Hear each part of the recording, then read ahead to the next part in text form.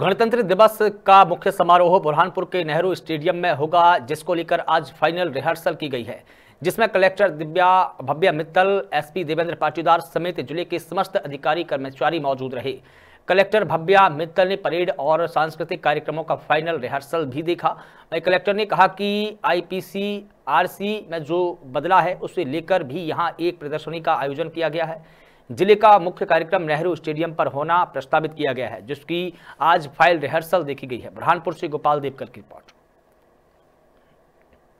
आज गणतंत्र दिवस की रिहर्सल थी, जिसमें सभी सांस्कृतिक कार्यक्रम हुए, पूरी परेड हुई और सभी 26 जनवरी की तैयारी में है और 26 जनवरी को यहाँ पर अपने C R P C I P C कानूनों को लेके जो बदलाव हुए उसके संबंध में प्रदर्शनी भी सभी जन के लिए लगाई जाएगी।